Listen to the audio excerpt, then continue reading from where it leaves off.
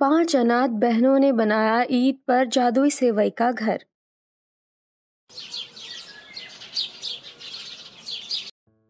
भाईजान मुझे लच्छे वाली सेवैया दे दो। आज मुझे ईद पर अपनी पाँच बेटियों के लिए सेवई बनानी है। रुको देता हूँ आपको लच्छे वाली सेवैया। दुकानदार नगमा को लच्छे वाली सेवैया दे देता है जिसके बाद नगमा वो सेवई लेकर सड़क पर से जा रही होती है। अच्छा हुआ मालकिन ने आज मुझे पैसे दे दिए थे। आज अपनी पाँचों बेटियों के लिए ईद पर सेवई बनाकर उन्हें खुश कर दूँगी।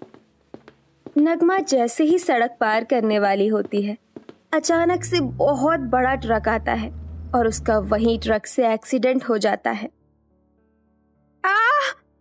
नगमा के चिल्लाने पर वहाँ भीड़ इकट्ठी हो जाती है। या खुदा बेचारी औरत किस तरह से बेमौत मारी गई।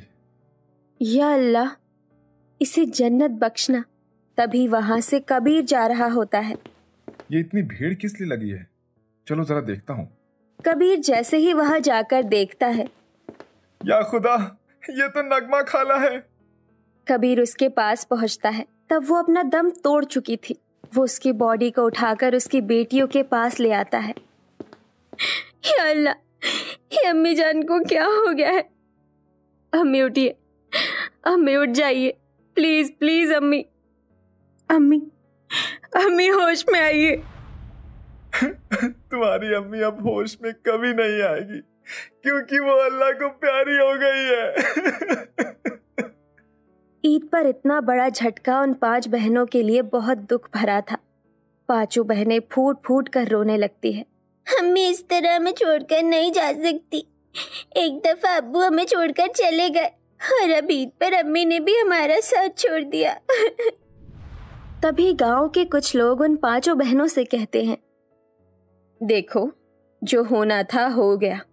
अब तुम्हारी अम्मी को दफन करना होगा, ताकि उन्हें जन्नत का रास्ता मिले। गाँव के ही लोग मिलकर नगमा को दफन कर देते हैं, जिसके बाद वो पाँचों पूरी तरह अनाथ हो जाती है। अब उनका इस दुनिया में कोई नहीं था। वो यहाँ वहाँ भटकती है। मैं तुम्हारे लिए कुछ खाने के लिए लेकर आती हूँ। लेकिन तुम ये कहाँ से लेकर आई हो? कहीं से नहीं। तुम खा लो। मैं तो खाकर आई हूँ। नहीं, पता है, तुमने भी नहीं खाया है। चलो, तुम भी हमारे साथ खाना खाओ। रुखसार फातिमा का लाया हुआ खाना पाँचों बहनों में थोड़ा थोड़ा बांट देती है। वो पाँचों खाना खा ही रहे थे, कि तभी मौसम बिगड़ने की वजह से आंधी तूफ़ान चलने लगते हैं। अरे अरे, ये क्या हो रहा है? लगता है बहुत तेज तूफ़ान आया है। मुझे डर लग रहा है, बाजी। मुझे बहुत डर लग रहा है। फातिमा नूर को गले से लगा लेती है। तुम्हें डरने की ज़रूरत नहीं है। मैं हूँ तुम लोगों के साथ। फातिमा अपनी बहनों का हौसला बढ़ा ही रही थी कि तभी तूफ़ान के चलते उनके घर की छत उड़ जाती है। घर का सामान भी इधर उधर हो जाता है और दीवारें गिर जाती हैं। इस दुर्घटना में वो पाँचों बहनें बच जाती हैं। और उस जगह से निकलकर बाहर आ जाती है। या खुदा, आज तो हम बाल बाल बच गए। बाजी, अब हम लोग कहाँ रहेंगे? हमारे पास तो रहने के लिए घर भी नहीं है। हम कल को इंतज़ाम कर लेंगे। फ़िलहाल आज हम कहीं ठहरने के लिए जगह ढूंढते हैं।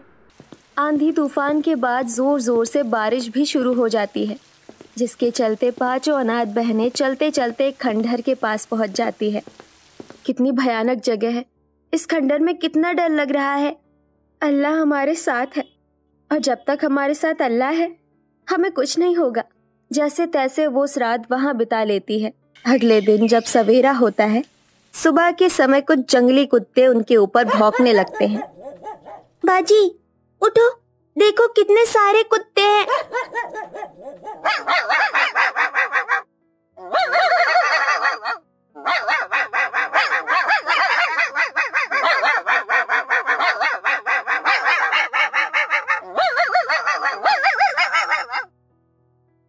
इतने सारे जंगली कुत्तों को देखकर वो सब बहुत डर जाती है। कुछ नहीं होगा, तुम लोग डरो मत। आरज़ू, देखो, यहाँ दो डंडे रखे हैं। मेरे तीन गिनते ही डंडे उठाना और इन्हें मारना शुरू कर देना। मेरे साथ। एक, दो, तीन। फातिमा के इतना कहते ही आरज़ू वहाँ पड़ा डंडा उठाती है। फातिमा भी एक डंडा उठाकर उन कुत्तों को मारना शुरू कर देती है, जिसके बाद वो कुत्ते वहाँ से भाग जाते हैं। पाँचों बहनें उस खंडर से निकलकर गाँव में पहुँच जाती है और भूख के मारे लोगों से खाना मांगती है। अल्लाह मियाँ आपकी दुआओं को कबूल करेगा। आपको हमेशा खुश रखेगा। हमें खाने के लिए दे दीजिए। अरे जाओ जाओ बहुत देखे तुम जैसे भिखारी। मेरे पास एक फूटी कौड़ी नहीं है तुम जैसे को देने के लिए। पाँचों बहनों को कुछ लोग अच्छे मिलते हैं तो कुछ लोग बहुत बुरे जो उन्हें कभी मार कर भगाते हैं तो कभी डांट कर तो कभी कुछ लोग उन्हें अपने पैसों पर खाना भी खिला देते हैं। इस तरह पाँचों अनाथ बहनें एक साल तक जैसे तैसे करके गुजारा कर लेती है। फिर एक साल बाद ईद आने वाली होती है। ईद आने वाली है। ईद का ही दिन था, जब हमारी अम्मी हमें छोड़कर चली गई थी। पता है, उस दिन अम्मी हमारी सेवई खिलाने वाली थी, वो भी लच्छे वाली। हाँ तुमने बिल्कुल सही कहा। अम्मी हमारे लिए सेवई लेने गई थी।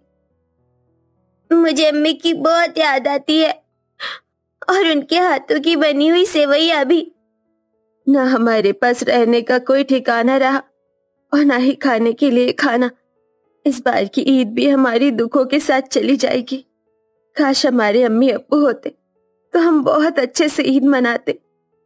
रुखसार के ये कहते ही माही आरज़ू नूर फातिमा चारों रोने लगती हैं। अम्मी जान, अम्मी आज मेरी हिम्मत टूट गई। मैं एक साल में अपनी बहनों को कुछ न दे पाई। पाँचों अनाथ बहनें रोकर एक पेड़ के नीचे ही सो जाती है। सोने के बाद फातिमा के सपने में उसकी अम्मी लच्छे वाली सेवई बनाकर लेकर आती है। हिम्मत मत हारो। तुम अपनी चारों छोटी बहनों का हौसला बढ़ाओ। अब तुम ही उनका सहारा हो।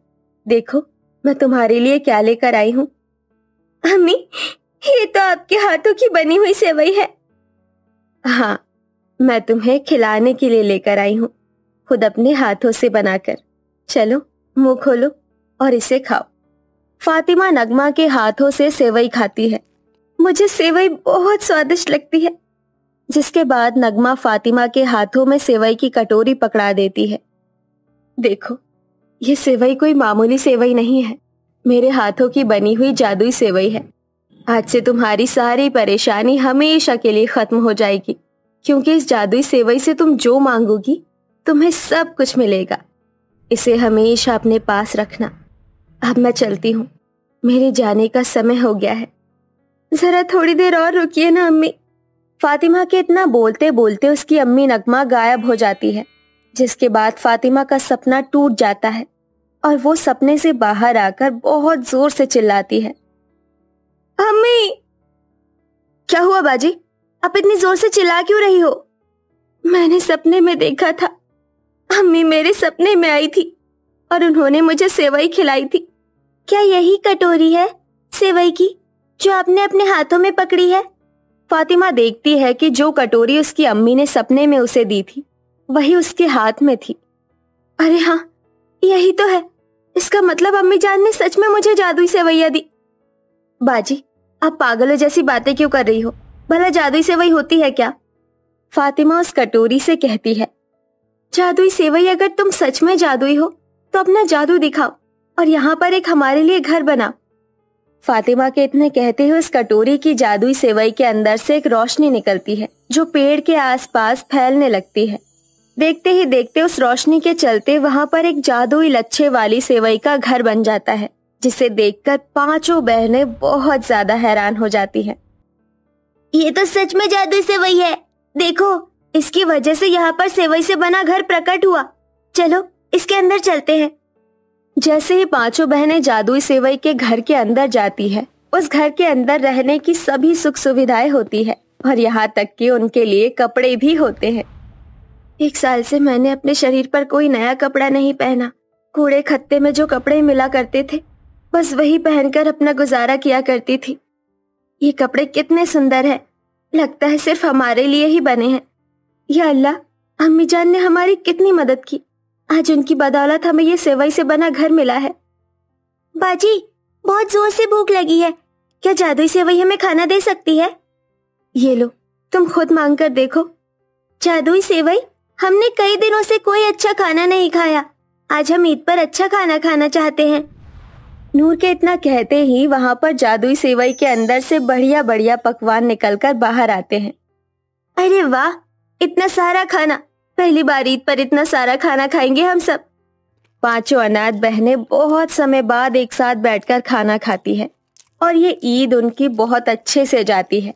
आसपास के लोग जब उनका सेवई से बना घर देखते हैं तो उनके सेवई से बने घर की चर्चा पूरे गाँव में फैल जाती है। और सब सेवई से बना घर देखने के लिए आते हैं। अल्लाह की दुआ से मैंने ऐसा घर पहले कभी नहीं देखा। कहते हैं ऊपर वाला जब भी देता है छप्पर फाड़ कर देता है। शायद अनाथ बहनों की किस्मत का ताला खुल गया है। यही नहीं धीरे धीरे सेवई से बने घर की न्यूज़ अखबारों में फैल जाती है जिसके कारण दूर दूर से लोग उन अनाथ बहनों का सेवई घर देखने के लिए आते हैं। और उस घर के साथ फ़ोटो खींचने के बाद वो लोग अनाथ बहनों को पैसे भी देकर जाते हैं। अब वो अनाथ बहनें सेवई से बने घर में खुशी खुशी रहने लगते हैं।